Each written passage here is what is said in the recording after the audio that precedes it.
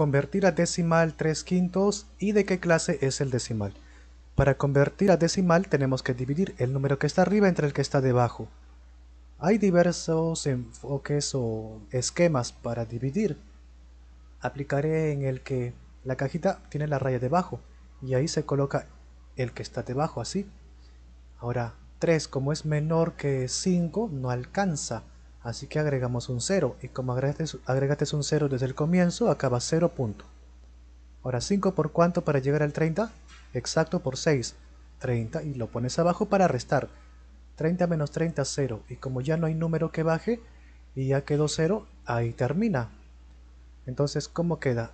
3 quintos en decimales es 0.6. Ahora, ¿qué tipo es? Como lo que está después del decimal no se repite infinitamente, como estos casos, entonces es un decimal exacto, así que viene por acá. Decimal exacto, respuesta final.